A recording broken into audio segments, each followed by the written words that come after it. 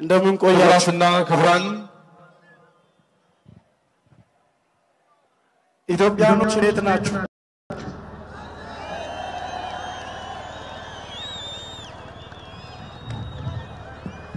እኔ አልዘፍንም፣ ልዘፍን አይደለም የመጣሁኝ። በደስታውን በሀዘን መስፈን ብቻ ነው እንዴ? የሚዘፈንና የማይዘፈን ቀን ሊወቃ እኔም ራሴ የቱ ጋ ቆመ ልስፈን? የቱ ጋ ቆመ ልዘምር? የቱ ጋ ቆመ ልናገር? እንደዚህ ተጣቧል ሰፈሩ። እኔ የሚዘፍነውም የለም የሚናገረውም የለም።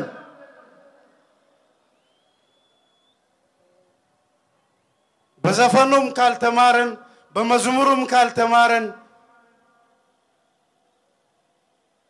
የሚዘፈን ነገር የለም። አሁን የሚዘመርም ነገር የለም። በመዝሙሩም አልተማርንም።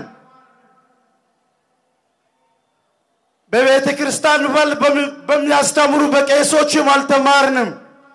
በፕሮቴስታንት በሃይማኖት አባቶች በፓስተሮች የሚያስተምሩንም ካልተማረን በሙስሊሞች የሚያስተምሩንም ካልተማረን ዘፈኑም አያስተምረንም። ምን አለ ብዬ ነው የሚዘምረው?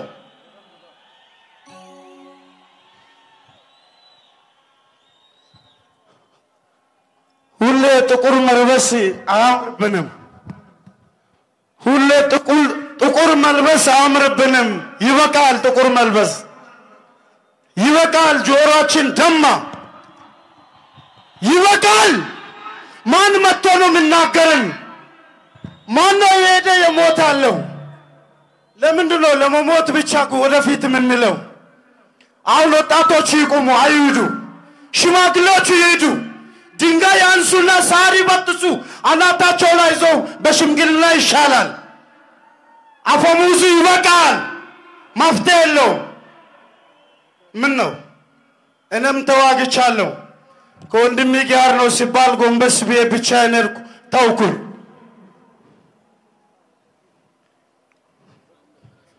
ደም አላስተማረንም፣ ጉልበት አላስተማረንም።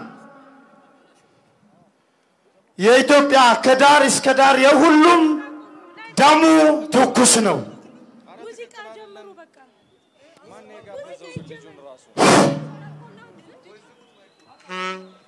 K. K.